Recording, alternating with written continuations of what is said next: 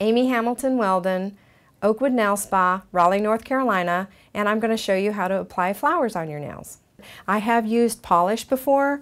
You can do, uh, like you can use a white nail polish to do art. When I very first started out, that's what I did. But I found out that nail polish doesn't work as well as just acrylic paint. This is just regular acrylic paint from the art store. I suggest the smallest, skinniest um, brush you can find.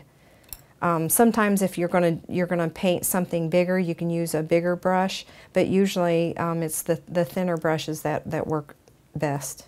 Daisies are pretty simple. You can either have make them have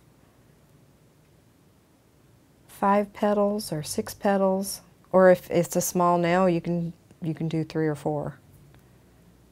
Every one doesn't have to be exactly the same. It, I think it actually looks better if they're not. It looks more real. It looks less like a stencil. You can have some that the petals are more fat at the end and skinny in the middle, toward the middle. So then you can go back and put your yellow centers. It looks really pretty on that red polish. And now I'm going to show you what it looks like if we added some rhinestones. Just get a little bit of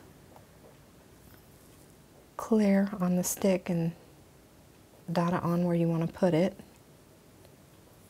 Use this topaz one.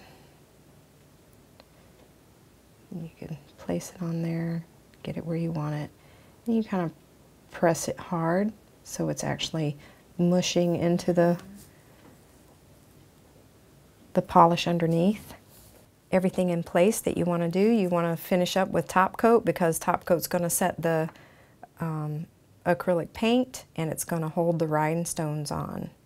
Okay, those were just some basic tips, but you should always consult a nail professional.